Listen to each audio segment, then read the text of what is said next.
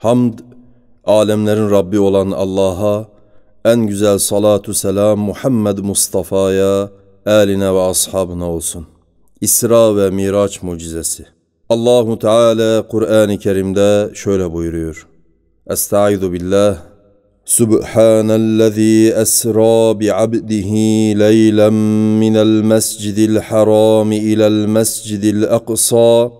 الذي باركنا حوله لنريه من اياتنا انه هو السميع البصير صدق الله العظيم anlamı bütün noksan sıfatlardan münezzeh olan Allah kendisine ayetlerinden bir kısmını göstermek için kulu olan Muhammed'i gecenin bir kısmında Mescid-i Haram'dan çevresini mübarek kıldığı Mescid-i Aksa'ya götürdü.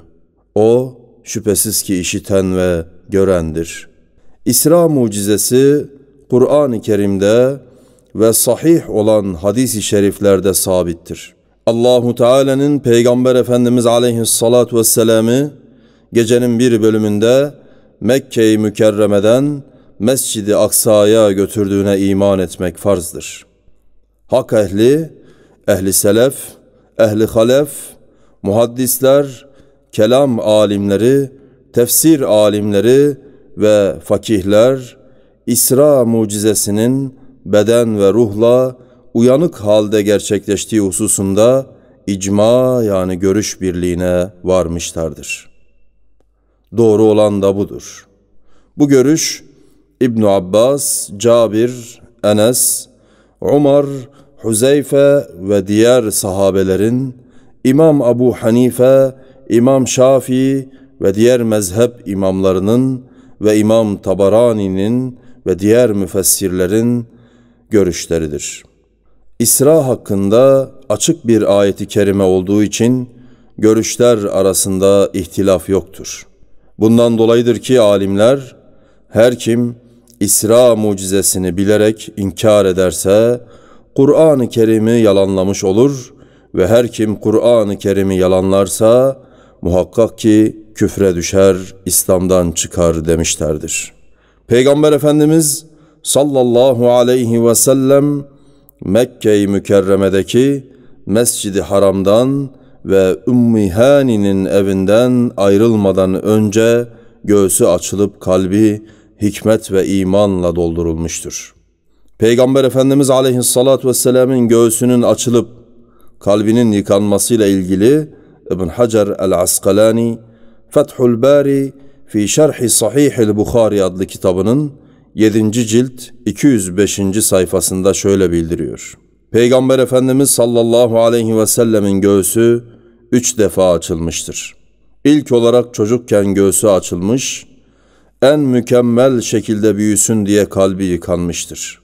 İkinci kez güçlü bir kalple vahiy alabilmesi için göğsü açılıp kalbi yıkanmıştır. Üçüncü kez ise göğsü açılıp kalbi hikmet ve imanla doldurulmuştur.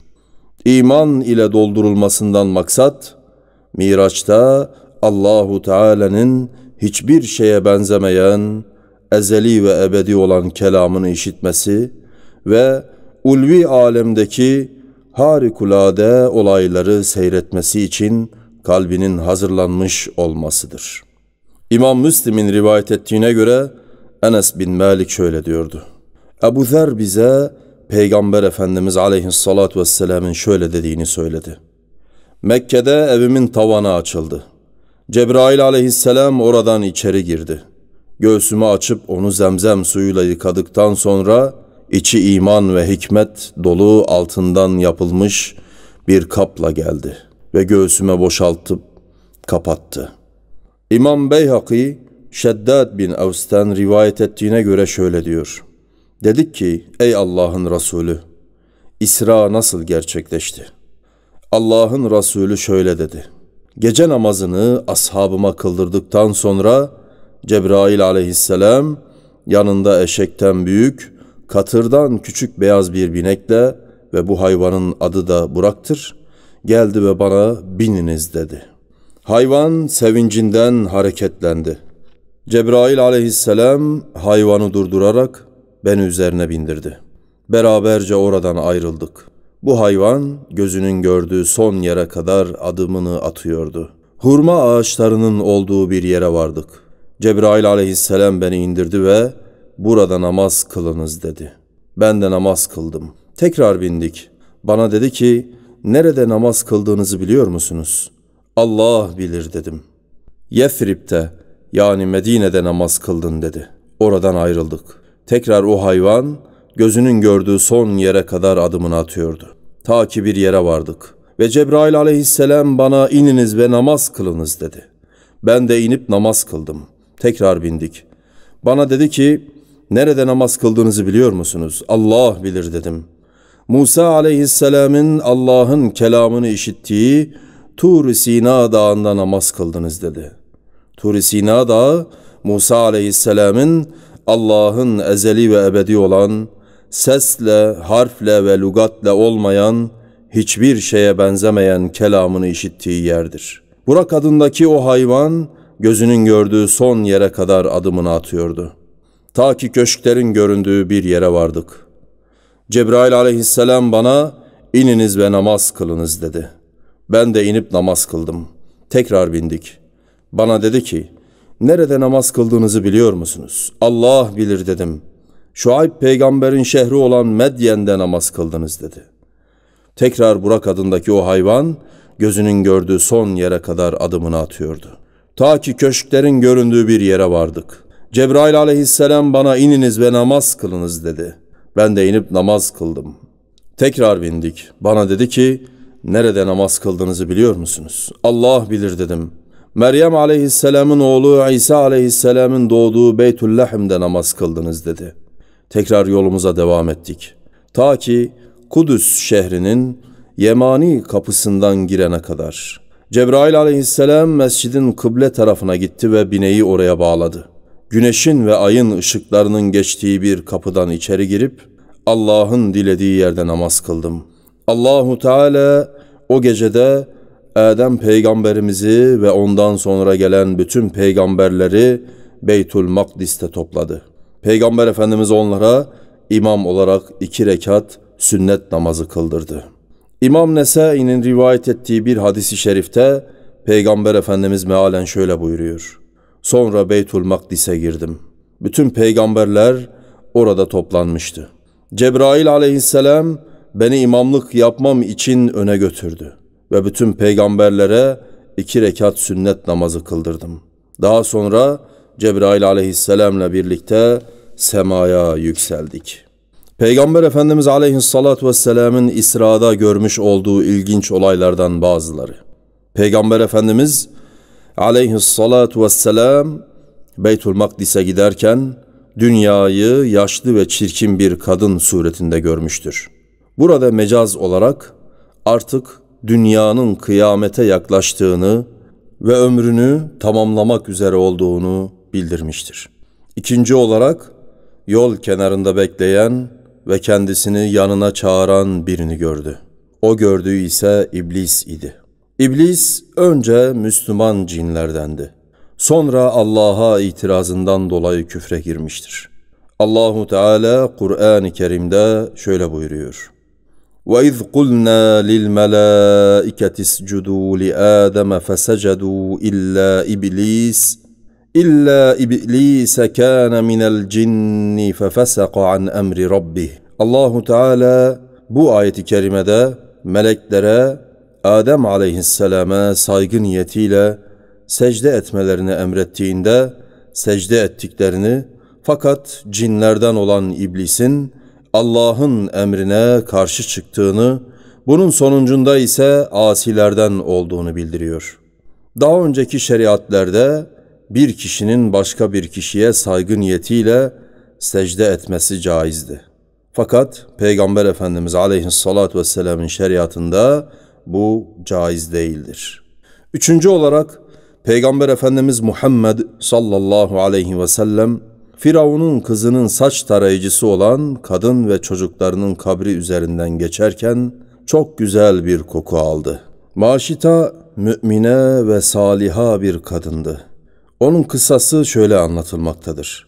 Maşita bir gün Firavun'un kızının saçını tararken tara elinden düşürdü ve Bismillah diyerek yerden aldı. Firavun'un kızı ona senin babamdan başka Rabbin mi var diye sordu. Maşita Firavun'un kızına Rabbim ve babanın Rabbi Allah'tır diye cevap verdi. Firavun'un kızı babasına olanları anlattı.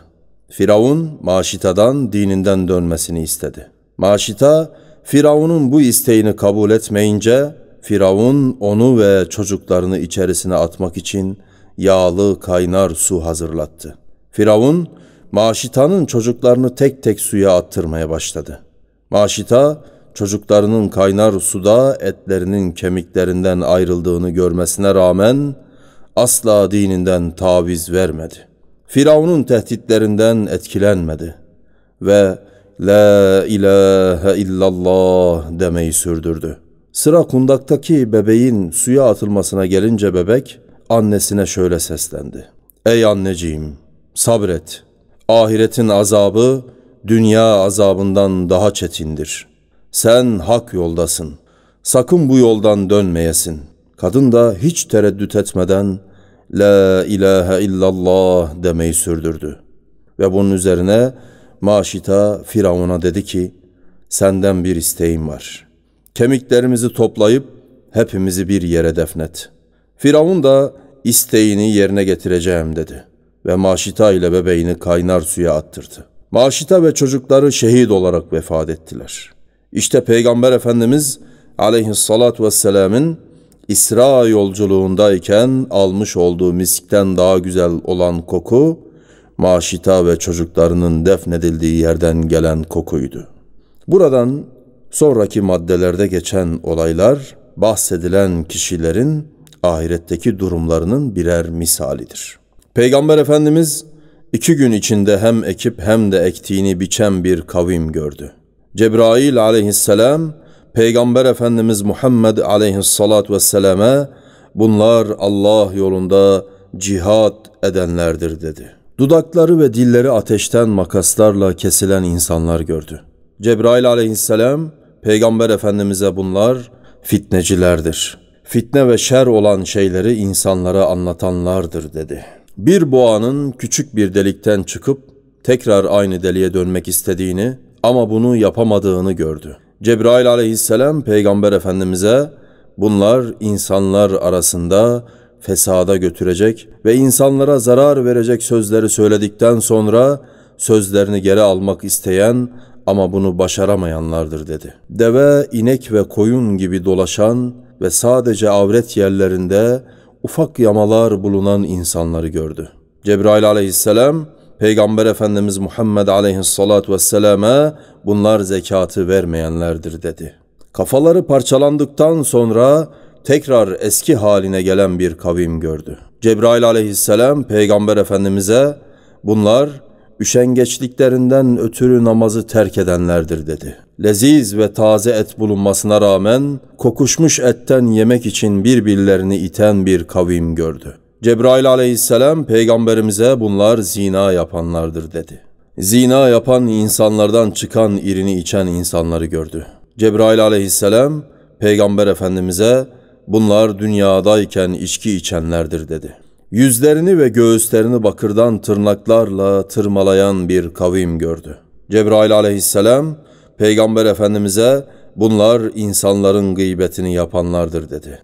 Miraç Miraç reddedilemez derecede sahih olan hadisi şeriflerle sabittir. Fakat Kur'an-ı Kerim'de bu konuyla ilgili açık bir ayet yoktur. Ancak bu konuyla ilgili açığa yakın bir ayeti kerime vardır. Allahu Teala Kur'an-ı Kerim'de şöyle buyuruyor. وَلَقَدْ رَآهُ نَزْلَةً أُخْرَى عِنْدَ سِدْرَةِ الْمُنْتَهَى عِنْدَهَا جَنَّةُ الْمَأْوَى Anlamı muhakkak ki onu yani Cebrail'i Sidratul Munteha'nın yanında bir defa daha görmüştür. Cennetul Me've onun yani Sidratul Munteha'nın yanındadır. Bir kimse ayet-i kerimede geçen lekad ra'ahu görmüştür kelimesini rüyada görmüştür olarak açıklarsa ona denilir ki bu bir tevildir. Yani Nas'ı zahirinden başka bir şekilde yorumlamaktır. İmam Fahruddin Razi'nin El Mahsul adlı kitabında dediği gibi bir ayeti kerimeyi akla göre kesin bir delil ya da açık bir ayeti kerime veya sabit bir hadisi şerif bulunmaksızın zahirinden başka yorumlamak caiz değildir. Bu tevilde ise böyle bir delil yoktur. İmam Müslim'in rivayet ettiği İsra ve Miraç ile ilgili hadisi şerifinde Allah'ın Resulü sallallahu aleyhi ve sellem mealen şöyle buyuruyor. Sonra Cebrail aleyhisselam beni semaya yükseltti. Cebrail aleyhisselam birinci semanın kapısını çaldı. Sen kimsin denildi. Ben Cebrail dedi. Yanında kim var denildi. Muhammed aleyhissalatu vesselam dedi. Miraca çağrıldı mı diye sordular. Evet dedi. Bize kapı açıldı ve Adem aleyhisselamı gördüm. Benimle merhabalaştıktan sonra bana hayırla dua etti. Sonra ikinci semaya yükseltildim. Cebrail aleyhisselam semanın kapısını çaldı. Sen kimsin denildi. Ben Cebrail dedi. Yanında kim var denildi. Muhammed aleyhisselam dedi. Miraca çağrıldı mı diye sordular. Evet dedi. Bize kapı açıldı. Teyze oğulları olan Meryem'in oğlu İsa aleyhisselamı ve Zekeriya'nın oğlu Yahya aleyhisselamı gördüm. Benimle merhabalaştıktan sonra bana hayırla dua ettiler. Sonra üçüncü semaya yükseltildim. Cebrail aleyhisselam semanın kapısını çaldı. Sen kimsin denildi. Ben Cebrail dedi. Yanında kim var denildi. Muhammed aleyhisselam dedi. Miraca çağrıldı mı diye sordular. Evet dedi. Bize kapı açıldı. Yusuf aleyhisselamı gördüm. Benimle merhabalaştıktan sonra bana hayırla dua etti. Sonra dördüncü semaya yükseltildim. Cebrail aleyhisselam semanın kapısını çaldı. Sen kimsin denildi. Ben Cebrail dedi. Yanında kim var denildi. Muhammed aleyhissalatu vesselam dedi. Miraca çağrıldı mı diye sordular. Evet dedi. Bize kapı açıldı. İdris aleyhisselamı gördüm. Benimle merhabalaştıktan sonra bana hayırla dua etti. Allahu Teala Kur'an-ı Kerim'de şöyle buyuruyor. Ve rafa'nahu mekanen aliyya. Allahu Teala bu ayet-i kerimede İdris peygamberi değerli ve yüksek bir yere yükselttiğini bildiriyor. Sonra beşinci semaya yükseltildim. Cebrail aleyhisselam semanın kapısını çaldı. Sen kimsin denildi. Ben Cebrail dedi. Yanında kim var denildi. Muhammed aleyhisselam dedi. Miraca çağrıldı mı diye sordular. Evet dedi. Bize kapı açıldı. Harun aleyhisselamı gördüm. Benimle merhabalaştıktan sonra bana hayırla dua etti. Sonra altıncı semaya yükseltildim. Cebrail aleyhisselam semanın kapısını çaldı. Sen kimsin denildi. Ben Cebrail dedi. Yanında kim var denildi. Muhammed aleyhisselam dedi. Miraca çağrıldım diye sordular. Evet dedi. Bize kapı açıldı. Sonra yedinci semaya yükseltildim. Cebrail aleyhisselam semanın kapısını çaldı. Sen kimsin denildi. Ben Cebrail dedi. Yanında kim var denildi. Muhammed aleyhisselam dedi. Miraca çağrıldı mı diye sordular. Evet dedi. Bize kapı açıldı. İbrahim aleyhisselamı sırtı Beytül Mamur'a dayalı olarak gördüm. Beytül Mamur'a her gün bir daha geri dönmemek üzere yetmiş bin melek girip çıkmaktadır. Sonra beni Sidratul Munteha'ya götürdü. Yaprakları filin kulakları, meyveleri ise büyük fıçılar kadardı. Allahu Teala onu o kadar güzel yaratmıştır ki hiçbir insan onu vasfedemez. Allahu Teala bana vahyedip üzerime gece ve gündüzde elli vakit namaz farz kıldı. Musa aleyhisselamın yanına indim bana, Rabbin ümmetine ne farz kıldı diye sordu. Elli vakit namaz dedim.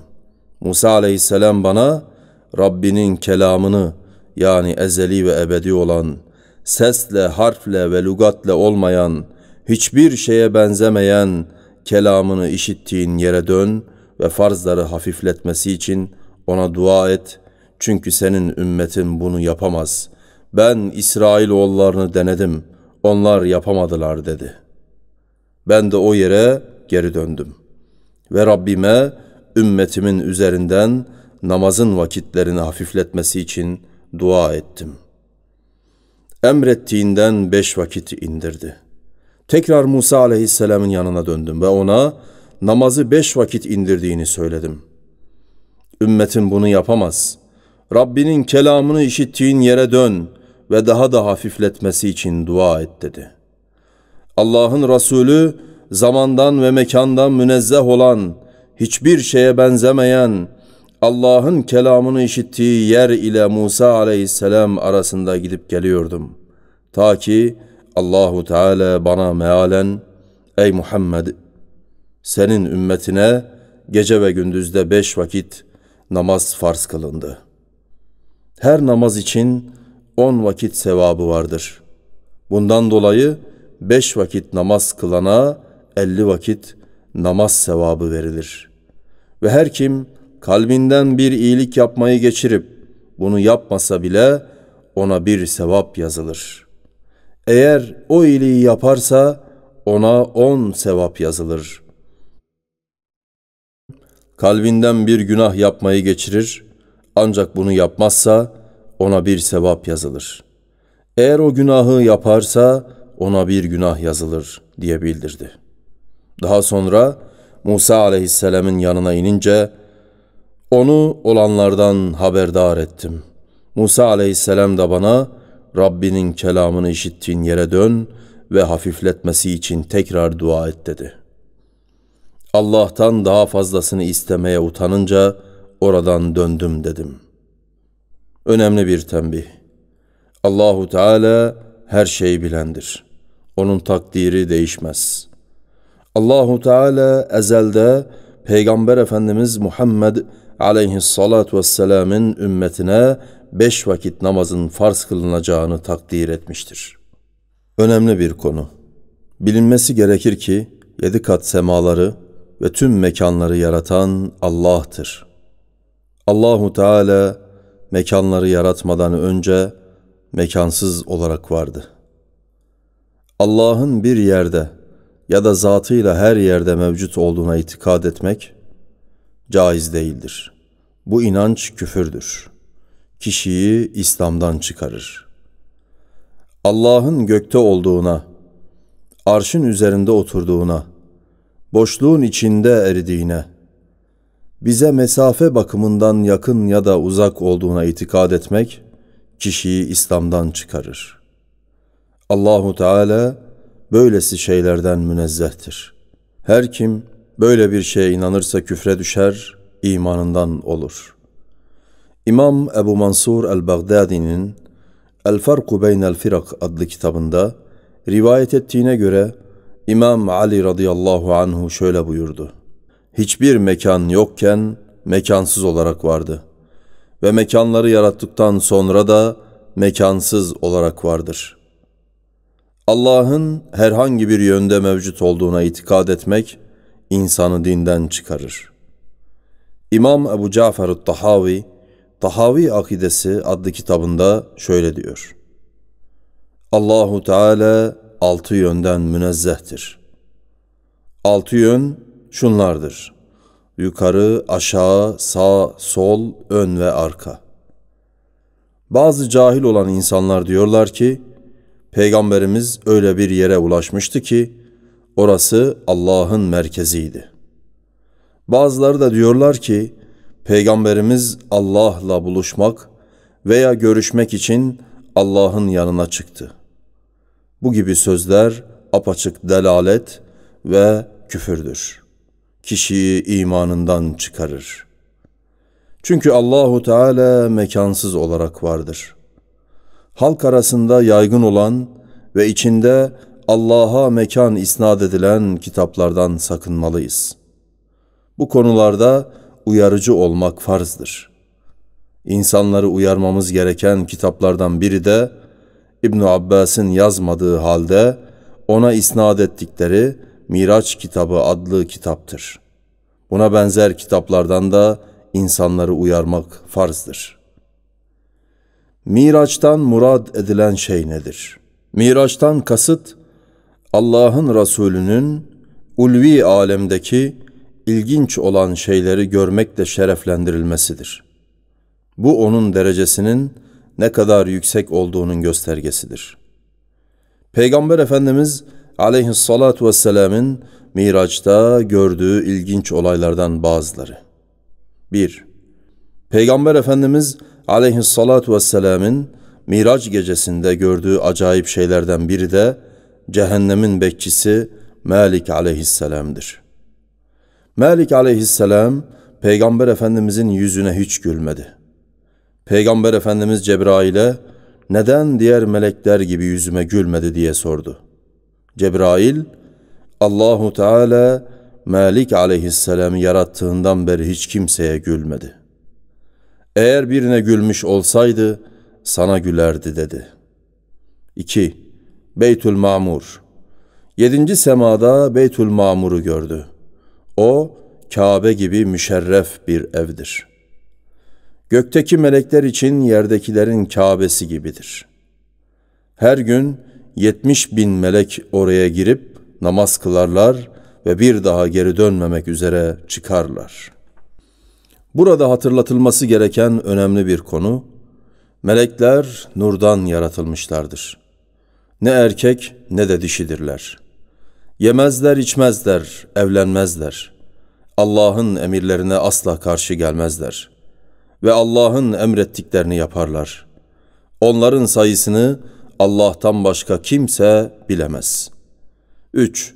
Sidratul Munteha O büyük bir ağaçtır. O kadar güzeldir ki güzelliği tam olarak vasfedilemez. Etrafını altından kelebekler doldurmuştur. Gövdesi altıncı semada olup yedinci semanın üzerine ulaşır. Peygamberimiz aleyhissalatü vesselam onu yedinci semada görmüştür. 4. Cennet O yedinci semanın üstündedir. Allahu Teala cennette salih kulları için hiçbir gözün görmediği, hiçbir kulağın işitmediği ve hiç kimsenin hayal dahi edemediği nimetler hazırlamıştır. Müslüman olarak ölen herkes cennete girecektir. İmam Müslim'in rivayet ettiği bir hadisi şerifte Peygamber Efendimiz cennet ehlinin cennete girdikten sonraki hallerinden bize şöyle haber vermiştir. Cennetten bir ses şöyle der. Ey cennet ehli! Her zaman sıhhatli kalacaksınız. Hiç hastalanmayacaksınız. Yaşayacaksınız, hiç ölmeyeceksiniz. Genç bir halde kalacaksınız, hiç yaşlanmayacaksınız. Ve nimetlerin tadını çıkaracaksınız. Hiç üzüntüye kapılmayacaksınız. Bu konuda Allahu Teala Kur'an-ı Kerim'de şöyle buyuruyor.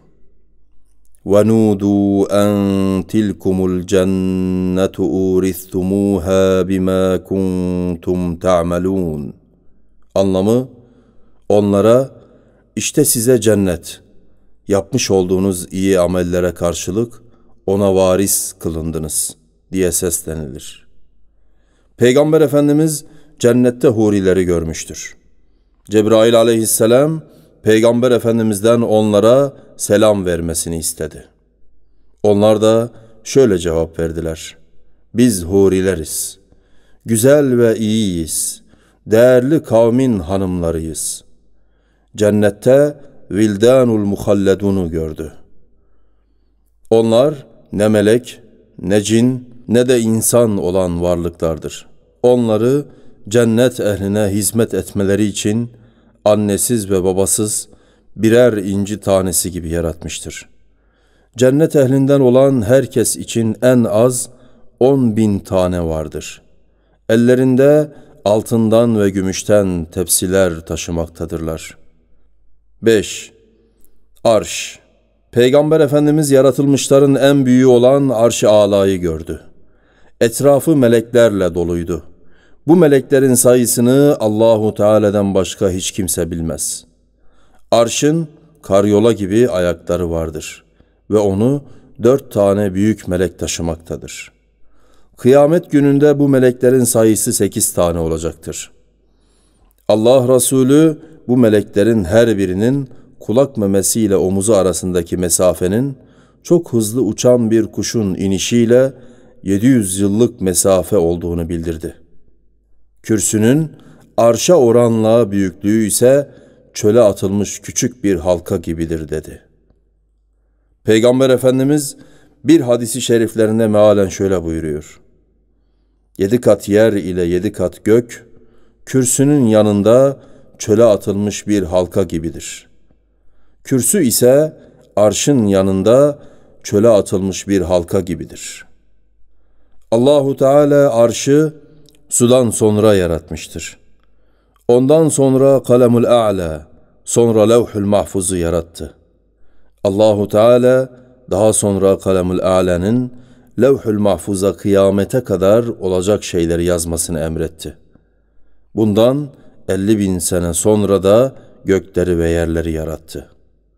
İmam Ebu Mansur el-Baghdadi El Farku Beynel Firak adlı kitabında rivayet ettiğine göre İmam Ali radıyallahu anh şöyle buyurdu. Allah arşı kudretinin azametini göstermek için yaratmıştır. Kendisine mekan edilmek için değil. Allah'ın arşın üzerinde oturduğuna itikad eden imanından olur.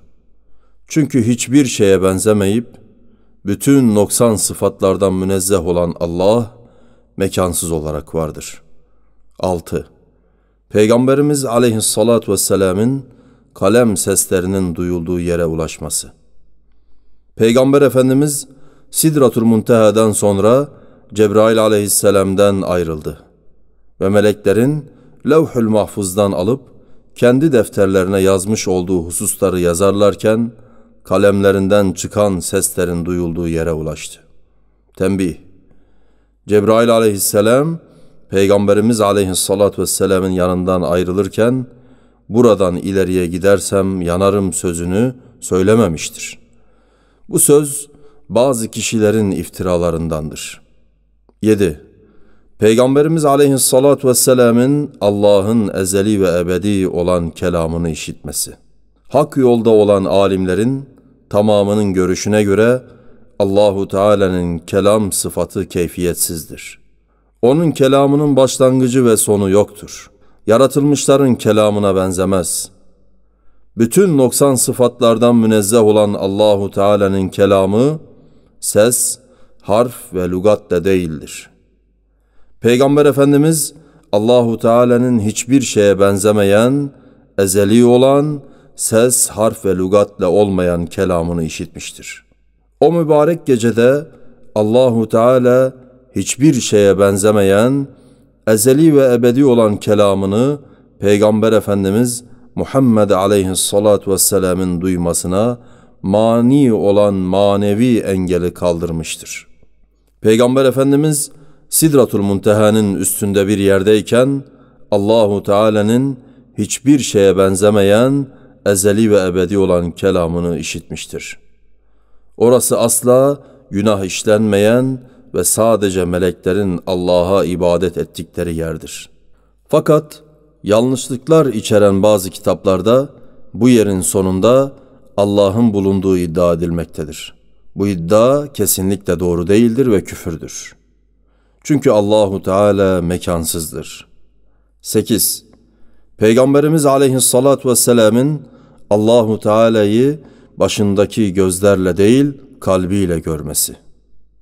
Allahu Teala'nın peygamberine Miraç gecesinde ikram ettiği şeylerden biri de peygamberinin kalbindeki manevi engeli kaldırıp kalbinde görme gücü yaratmasıdır. Bundan dolayıdır ki Peygamberimiz aleyhissalatü vesselam kalbiyle Allah'ı görmüştür. Yani Allahu Teala Peygamber Efendimizin kalbinde görme gücünü yaratmıştır. Çünkü Allahu Teala fani olan gözle görülemez. Peygamber Efendimiz bir hadisi şerifinde mealen şöyle buyuruyor. Biliniz ki ölmeden Allahu Teala'yı göremeyeceksiniz. Ancak Allah ahirette baki olan ve fani olmayan gözle görülür. Allah'a ve Resulüne iman edenler hiçbir şeye benzemeyen Allahu Teala'yı yön ve mesafe olmaksızın görürler. İmam Bukhari ve başkalarının rivayet ettiği bir hadisi şerifte Peygamber Efendimiz şöyle buyuruyor. Siz kıyamet gününde Rabbinizi göreceksiniz. Gördüğünüzde hiç şüphe etmeyeceksiniz. Nasıl ki Bedir gecesinde dolunay görüldüğü zaman hiç şüphe etmeden bu dolunaydır diyorsanız Allahu Teala'yı gördüğünüzde de hiç şüphe etmeden Rabbimizdir diyeceksiniz. Allah Resulü Rabbimizi dolunaya benzetmemiştir. Buradaki kasıt şudur. Nasıl ki dolunay görüldüğünde kesin olarak dolunay olduğu biliniyorsa Allahu Teala görüldüğünde de şek ve şüphe olmadan o olduğu bilinir. Allahu Teala Kur'an-ı Kerim'de şöyle buyuruyor. Vucuhu yevme izin nadirah ila rabbiha nazirah. Anlamı o günde yüzler vardır ki ışıl ışıl parlayacaktır. Çünkü onlar Allah'ı göreceklerdir. Ama kafirler asla Allah'ı göremezler. Onlar ebedi olarak cehennem ateşinde kalacaklardır. Peygamber Efendimiz aleyhissalatü vesselamın Miraç gecesinde Allah'ı kalbiyle gördüğüne delil şu ayeti kerimedir. مَا كَذَبَ الْفُؤَادُ مَا رَأَى Gördüğünü kalbi yalanlamadı. İmam Müslim'in rivayet ettiğine göre İbn Abbas Efendimiz şöyle buyurdu. Allah'ı kalbiyle gördü. Bu konuda anlatılması gereken şeylerden biri de Peygamberimiz aleyhissalatü vesselamın Allahu Teala'yı görmesi ve Allahu Teala'nın kelamını duyması olaylarının aynı anda gerçekleşmediğidir. Yani görmenin ayrı, işitmenin ayrı olduğudur. Allahu Teala Kur'an-ı Kerim'de şöyle buyuruyor. وَمَا كَانَ لِبَشَرٍ أَنْ يُكَلِّمَهُ اللّٰهُ إِلَّا وَحْيًا اَوْ مِنْ وَرَاءِ حِجَابٍ اَوْ يُرْسِلَ رَسُولًا Anlamı, Allahu Teala bir insanla ancak vahiy yoluyla veya manevi engel ile tekellüm eder. Yani peygamber Allah'ı görmeden onun ezeli ve ebedi olan kelamını işitir. Yahut bir elçi gönderir. 9. Peygamber Efendimizin Cebrail aleyhisselamı gerçek suretinde görmesi. Peygamber Efendimiz Cebrail aleyhisselamı gerçek suretinde ilk defa Mekke'de görmüştür. Onu görünce bayılmıştır. Efendimizin bayılması korkudan değil, Cebrail aleyhisselamı asıl yaratılışı üzere çok büyük ve acayip bir şekilde görmüş olmasından dolayıdır. Bu mübarek gecede ise Cebrail aleyhisselamı ikinci defa gerçek yaratılışı üzere görmüştür. Ancak bu sefer bayılmamıştır. Çünkü miraca çıkmadan önce Efendimizin göğsü açılıp kalbi yıkanmıştı. İmam Müslim'in rivayet ettiğine göre Aişe radıyallahu anha Allahu Teala'nın ثم دنا فتدلى فكان قاب قوسين أو أدنى Anlamı sonra Muhammed'e yaklaştı. İki yay arası kadar hatta daha da yakın oldu. Ayeti kerimelerini tefsir ederken şöyle diyor Ayşe. O Peygamberimiz aleyhissalatü vesselama yaklaşan Cebrail'di. Ona yani Efendimiz'e geliyordu. Bu sefer de gökyüzünü kapatan gerçek suretiyle gelmiştir. Buna dayanarak diyoruz ki, yukarıda zikredilen En-Necm suresinin 8. ve 9. ayeti kerimelerinin meali şu şekildedir. Sonra Muhammed'e yaklaştı. İki yay arası kadar hatta daha da yakın oldu. Bu ayeti kerimede geçen yaklaşma Cebrail aleyhisselamın Peygamber Efendimiz'e yaklaşmasıdır.'' yaklaşanın Allahu Teala olduğu manasında değildir. Her kim Allahu Teala'nın peygamberimize mesafe bakımından yaklaştığına inanırsa sapmış kafir olur. Ayrıca bu hadisi İmam Bukhari sahihinde İmam Beyhaki El Esma ve Sifat adlı kitabında rivayet etmişlerdir. Molla Gürani de tefsirinde şöyle buyurmuştur. Alimler Miraç'ta Peygamber Efendimiz'e yaklaşanın Cebrail olduğu konusunda icma etmişlerdir. Bunun aksini iddia eden dalalet içindedir. Ayet-i kerimelerin gerçek anlamı ise Peygamber Efendimiz Cebrail aleyhisselamın gerçek şeklini ikinci defa gördüğünde Cebrail aleyhisselamın Peygamber Efendimiz'e yaklaşık iki yay kadar veya daha az yaklaşmış olmasıdır. Orada Cebrail aleyhisselam Peygamber Efendimiz'e 600 kanatlı olan gerçek suretiyle görünmüştür. Her kanadı yeryüzü ile gökyüzü arasını kapatacak büyüklüktedir. İmam Müslim'in rivayet ettiğine göre Eşşabi şöyle buyurdu. Ayşe'nin yanında yaslanmış bir şekilde oturuyordum.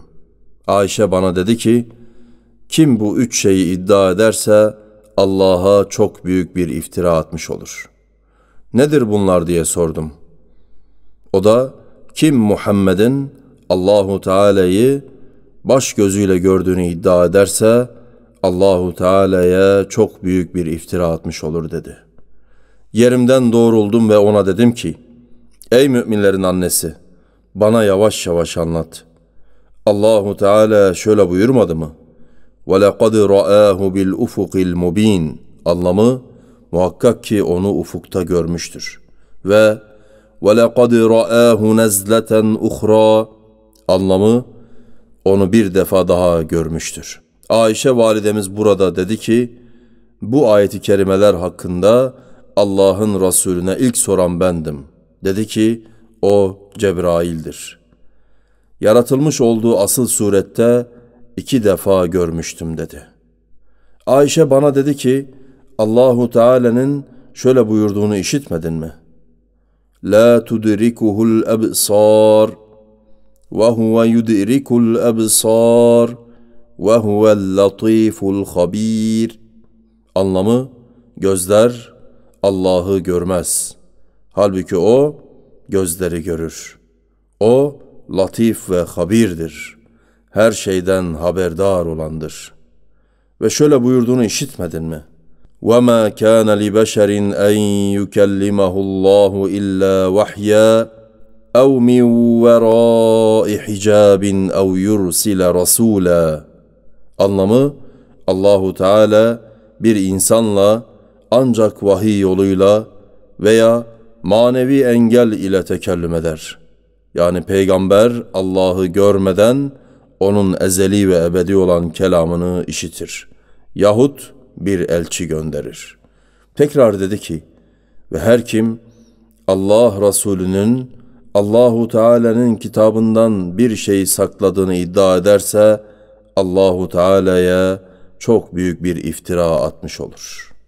Allahu Teala Kur'an-ı Kerim'de şöyle buyuruyor.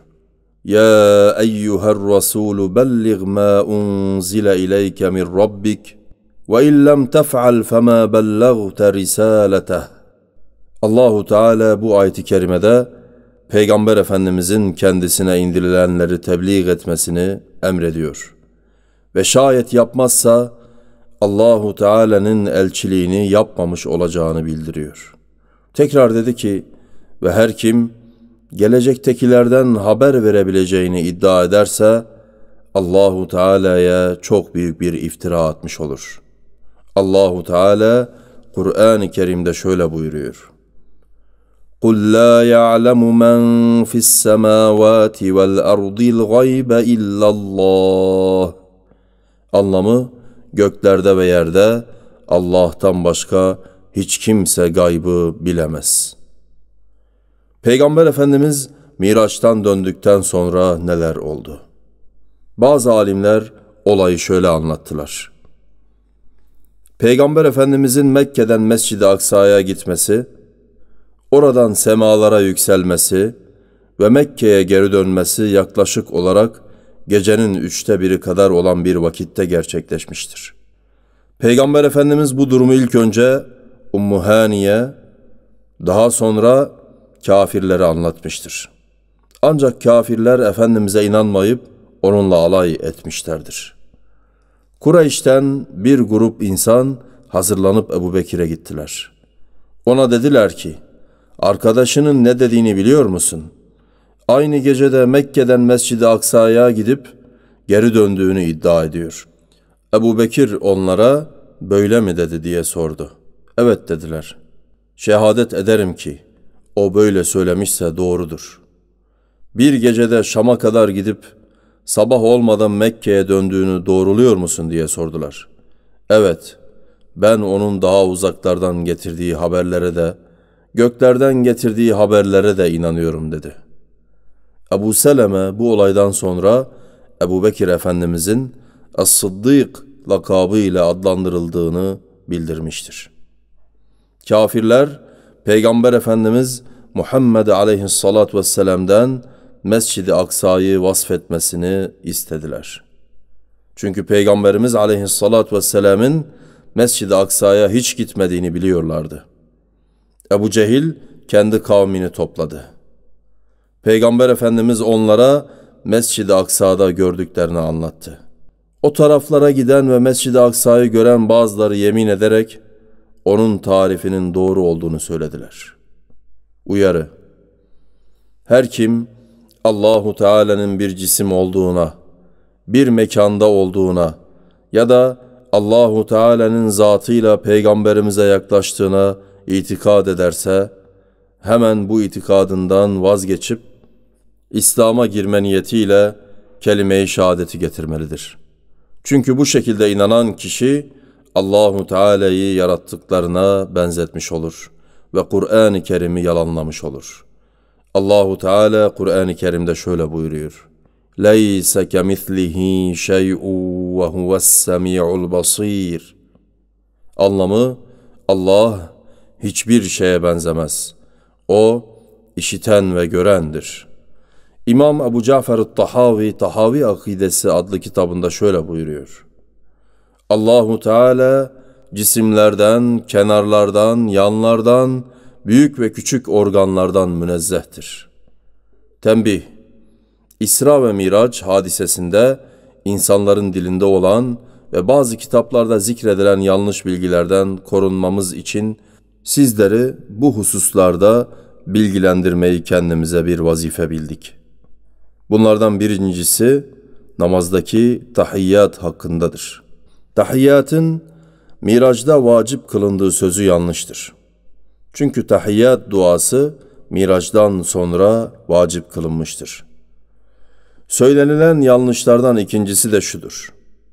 Peygamber Efendimiz Miracdayken sıkılmış ve büyük sahabe olan Ebu Bekir'i özlemiş, onun özlemini gidermek için de Allahu Teala Peygamber Efendimiz'e Ebu Bekir'in sesiyle seslenmiştir. Bu iddia Allahu Teala'ya yakışmayan bir sıfat ve vasıf olduğundan dolayı bunu söylemek ve buna inanmak insanı imanından eder. Yanlış olan hususlardan üçüncüsü ise Cebrail aleyhisselamın vahiy aldığı yerde perdeyi açınca Peygamber Efendimiz'i orada gördü ifadesidir. Cebrail aleyhisselamın vay be vahyi ben senden buradan alıp tekrar sana yeryüzüne indiriyorum sözü batıl ve küfürdür. Çünkü peygamberimiz burada ilah ilan edilmiş oluyor ki bu da İslam'a ve tevhid inancına aykırıdır. Yine Mirac'da geçtiği söylenen yanlış kıssalardan birini daha anlatalım. Mirac'da peygamberimiz ve Cebrail aleyhisselam öyle bir yere varmışlar ki Cebrail ben bundan sonra seninle gelemem çünkü gelirsem yanarım demiş sözüdür. Bu sözün açıklamasını da şöyle yapmaktadırlar. Diyorlar ki Cebrail nurdur. Allah daha büyük bir nurdur. Büyük nur küçük nuru yakacağı için Cebrail daha yukarıya çıkmak istememiştir. Bu söz Allah'a ve meleklere atılan büyük bir iftiradır. Buna inanıp iman etmek kişiyi imanından eder. Miraç hadisesi hakkında atılan iftiralardan biri de şu şekildedir. Peygamber Efendimiz Miraç'ta bir yere vardığında melekler ona ''Dur içeri girme, Allah namaz kılıyor.'' dediler. Namaz kılmak ve ibadet etmek biz kullara has bir fiildir. Bizler bizi yaratan Allah'a ibadet eder ve onun rızası için namaz kılarız. El-Ahzab suresinin 6. ayet-i kerimesinde Allah hakkında geçen salat kelimesi ise Allah'ın peygamberimizin şanını yüceltmesi anlamındadır. Haşa Allah'ın namaz kıldığı, dua ettiği veya ibadet ettiği anlamında değildir. Ayrıca dur, içeri girme sözü de Allah'ın bir mekanda olduğu anlamına gelir ki Bu da Allah'ı yaratılmışlarına benzetmektir. Allah mekansız olarak vardır. Yine Miraç gecesinde sevgili peygamberimiz için kullanılan şu tabirler doğru değildir. Allahu Teala'nın huzuruna kabul edildi. Allahu Teala'nın huzuruna çıktı. Şüphesiz ki bu tabir ve ifadeler yüce Allah'ın mekanının olduğu, bu mekanın da yedinci gökte olan Sidra-i Munteha'nın üstünde bulunduğu manasına geldiği için küfürdür, İslam'dan çıkarır. Hele hele Efendimiz'e isnat edilerek sarf edilen, gökleri aştı, Allah'a ulaştı, gökleri aşarak Allah'ın katına ulaştı gibi sözler, düpedüz Allah'ın göklerin üstünde olduğunu, orayı mekan tuttuğu anlamına gelmesi bakımından küfürdür, İslam'dan çıkarır. Allah bizleri bu gibi yanlış inanç ve itikat bozukluklarından muhafaza eylesin. Sevgili Müslümanlar, bu kitapta bahsedilen ve daha yüzlercesi olan batıl ve uydurma kıssalardan, hikayelerden korunmamız gerekir.